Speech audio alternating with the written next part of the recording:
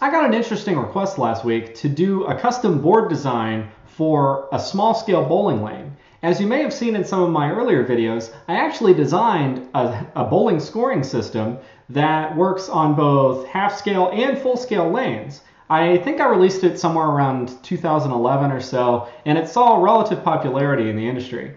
Now, this board basically is going to be responsible for communicating with OpenScore and actually triggering the scoring mechanism when the ball passes through an infrared beam. So in this video, we're actually going to lay out the PCB in a very simple tool called fritzing, and we're actually going to send our boards off to be manufactured. We're going to get them back, and then we're going to put it all together and see if it works. So stick around.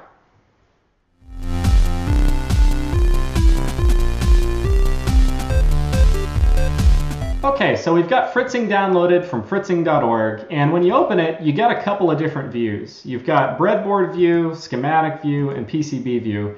Um, you've also got code view in case you want to type up the firmware code, but uh, for right now, we will actually be working in the PCB view because that's pretty much drag and drop. So um, we can resize this, this board actually to kind of whatever we want. It's really going to be sized around our main microprocessor, which is actually going to be an Arduino Nano. Really, we only need one digital pin for this, and that's really to sense when the infrared beam has been broken. And the type of infrared sensors we're going to use actually uh, kind of close a switch whenever that happens. There's some onboard stuff that those take care of for us. So in reality, the only thing we really care about is when the beam is broken. And as such, we really only need one, um, one digital I.O. pin. So if we actually open up our parts bin here, we can search for an Arduino Nano. Uh, sometimes it takes a minute to, uh, to actually open. So uh, we can actually look for Nano. And here we go. We actually find an Arduino Nano Rev 3 with ICSP, but we'll just drag the 3.0 on because really that's all we need. Um, cool. So there we go. We can actually click this, reposition the label. We'll name that CPU and center that up. There we go. And uh, we can actually start dragging out our connectors. Pretty much the only thing we really want are a connector for the transmitter and the receiver. And really all the transmitter is going to require is about 5 volts. And the Arduino Nano is, actually has more than enough power uh, to actually power that. So we will actually search for header in our parts bin.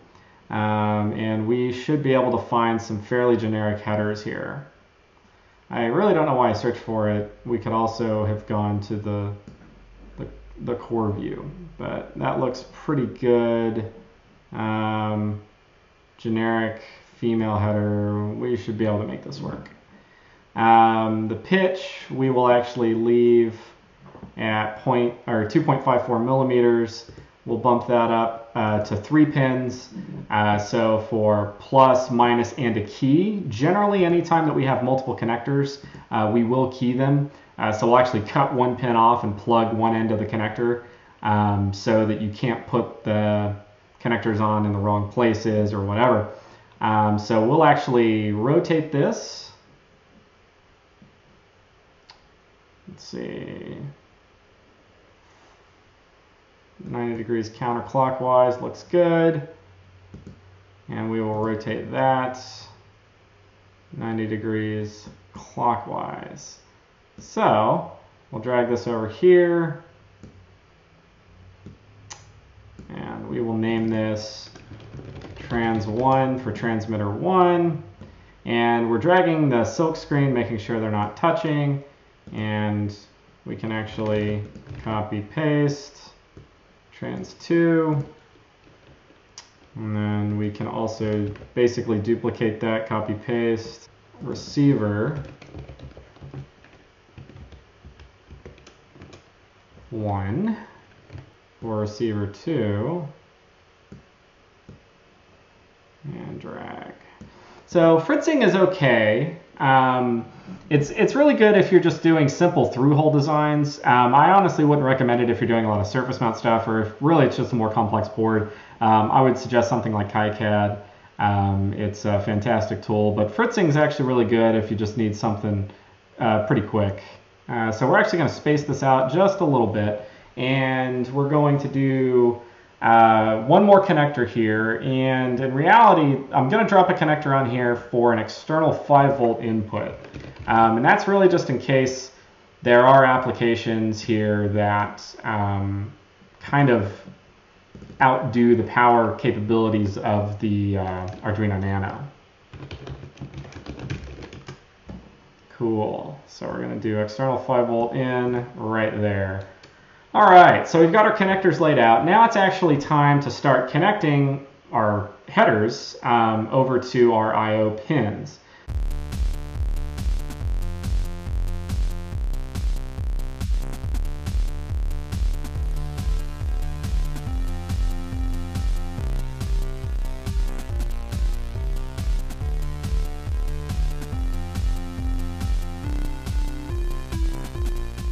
So now what we want to do is we actually want to connect these signal pins. Now these signal pins, well I actually added a port here for a second pair of transmitters just in case we want to have growth later on in the design. So we'll actually keep those there. But we do want some signal paths. Now we notice that we don't have a lot of leeway here with the signal paths on the bottom layer or on the uh, top layer. All these, you know, all this yellow is in the way. But what we can do is we can actually stay here on the bottom layer and uh, find our digital pins. Let's see, I think uh, D2 and D3 should work pretty well. So we'll take receiver 1, drag it over. Mm, let's actually drag that to D3. That might be counterintuitive, but I'll explain that in a minute. I'll just sort of bang that over here. And again, it's sort of a a maze. Awesome. Now receiver 2, we'll actually drag it to D2, and this is why I did that, so now we won't have any places where we need to cross. However, I do notice an issue. We'll actually need to bring this out a little farther.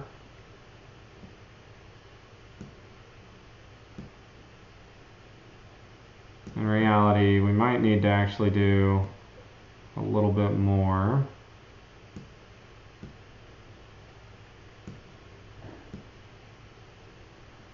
Sweet. Alright, that track is a little long, but that'll work. It's a pretty simple circuit. And again, this is just rapid, rapid prototyping here. And we will also put this through our design rule check. All right. Perfect. All right. So now we've got all of our grounds connected. We've got our signal 2, signal 1 for transmitter 1. It's actually backwards. But uh, yeah, all of that looks pretty hunky-dory. So um, we've got everything, um, yeah, pretty much everything connected up. This should be all we need. Now what we're actually going to do is we'll do a couple of ground fills. So I will actually right click this and we will set ground fill seed. And basically what we're going to want to do is pour uh, copper into these, um, pretty much into the voids here. So we will actually do ground fill and we will actually do, um, we can actually switch over to both layers. We should be able to do routing, ground fill, top and bottom, and boom, cool. So now all of our grounds are connected, which is great. Um, we got this nice ground layer here, so it'll carry any stray noise away. And we've got a little bit of the insulation around our, uh, between the uh, ground layer and our actual bottom traces. So that looks pretty good. Um, yeah, showing some love there. Looks great. So now um, we should be good to go. Um, so what we can actually do is since we're done designing this, uh, we can actually quickly run a DRC check here, or a DRC. Um, actually, we'll keep the default settings. Cool. So it didn't find any problems with the board. Um, our traces are far enough apart, which is generally what I get flagged for if you're trying to run these traces too close together. Um, it can be a little bit of a pain, but uh, so far I think we're okay. So, wonderful. Let's uh, let's uh, make sure everything looks good. Cool. All right. So what we can actually do now is we can actually export these uh, for production as an extended uh, Gerber set. Um, because really most of those, um, let's see here. We'll, we'll export these Gerbers here. Um, because most of the board houses just want a set of Gerbers. All right, so we got our Gerbers here. We can actually export them and uh, we will compress all of these into a zip and we can actually open up PCBWay and we can upload these but first what we can do is actually get a quote and uh, the, what we need are the board dimensions and it's about 39.6 by 70.3 millimeters And we can do, let's try 10 pieces, whatever. Default thickness should be good. Uh, looks like it's going to be about $5 for 10 of them. Sweet, awesome. We can actually change this. We'll do some blue solder mask. Uh, looks good, and we'll get this submitted. Okay, so fast forward a couple days, and the boards just came in. It took them about three days to both make and ship the boards from China, and the service was spectacular, and I'm really actually pleased with the result. Um, so I ordered 10 prototypes. Uh, usually I just kind of do a small batch right after I first design the circuit, just to make sure everything works. And uh, they actually gave me 11. They, they did ship uh, a few extra here. And um, I was looking at the boards to see maybe if one was botched or something like that. Maybe they threw an extra one in. And all of them actually look really good. So uh, we do, you know, the boards came in. Uh, we've got, you know, the connectors. If this will focus, there we go. We have all the connectors. We've got our external power, got CPU ports, uh, all that good stuff. So the boards are uh, about the size of a business card, so a nice and small footprint. So we're actually going to put this on the bench and we're going to populate it. Okay, so we've got our soldering iron heated up to about 700 degrees. Uh, I'm going to prop I'm going to actually put these connectors in, these headers um, with the ramps on them. I'm actually going to go ahead and put those in. And we're actually going to prop this up. I, I don't have the uh, helping hands. Oh, I've got a, got a text message. Um, so actually I'm going to kind of put these here. And we're going to prop them up with the, uh, with the flash drive, just sort of a hack. And okay, so now we've got everything level. Those uh, pins look pretty good. We're going to go ahead and just, just tack those on with a little bit of solder.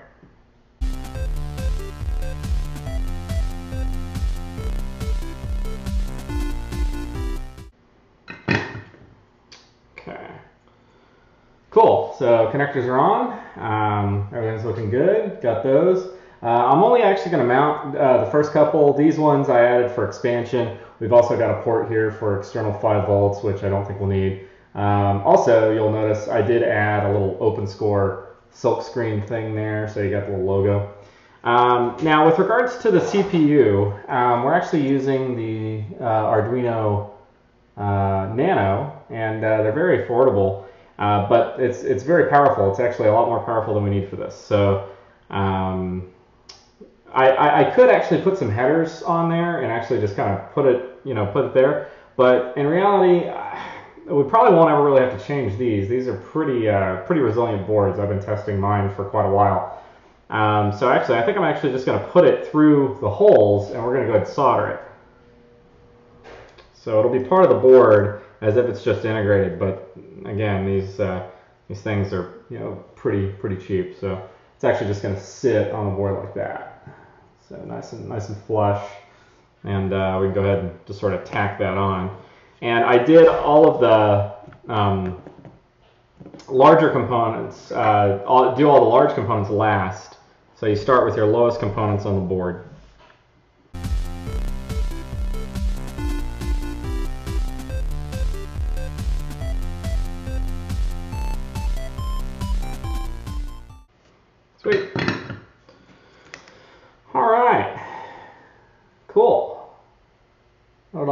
Solder together. so I'll have to trim some of these leads off, but uh, yeah, I think that should about do it.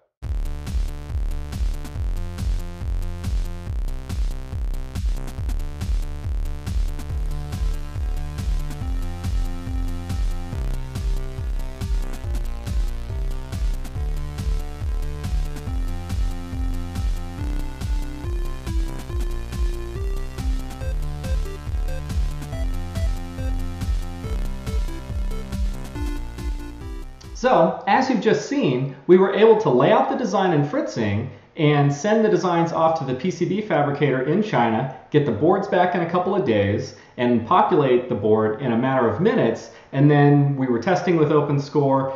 As you just saw, everything worked. So now it's just a nice, simple plug and play system. And we will actually have this product available in our store at 86pixels.com slash OpenScore and you can actually hook that up to your OpenScore setup and have automatic infrared ball triggering for your full scale or half scale lane. In the next video, we're going to return back to our operating system series and we're going to begin designing the Wi-Fi setup methods and things like that. So stay tuned and we'll see you next time.